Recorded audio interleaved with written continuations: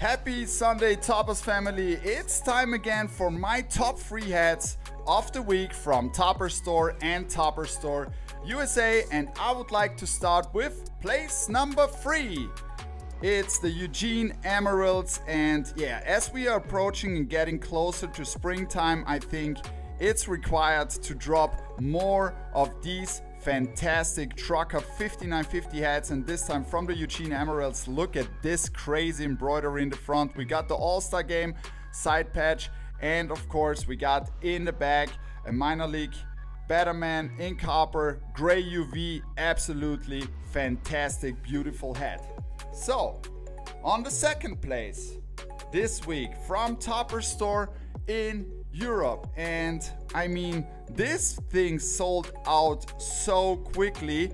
The Reaper, and this is an absolute fantastic hat. A lot of metallics and also a special with glow in the dark. So you will have a lot of fun with this hat because it's an absolute beauty. It looks so good in hand. We got the gray UV, black guts, and then we got also a glow in the dark minor league Batman in the back. Crazy details. My hat of the week this week on the first place was the legend pack from the NFL we dropped and oh my god I love this hat so so much it's fantastic I got the jersey which fits that hat perfectly so we got a chrome dome from the Miami Dolphins and look at these fantastic golden small details in the back of the script absolutely gorgeous. And then we got the draft side patch also fantastic colorway and a golden NFL throwback shield on the back.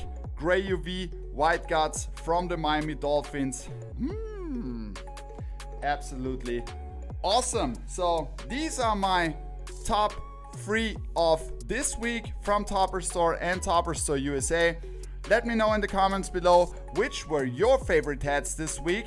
Let's discuss this. I hope you can enjoy the rest of your Sunday and see you next week when I'm selecting again my top three hats of the week.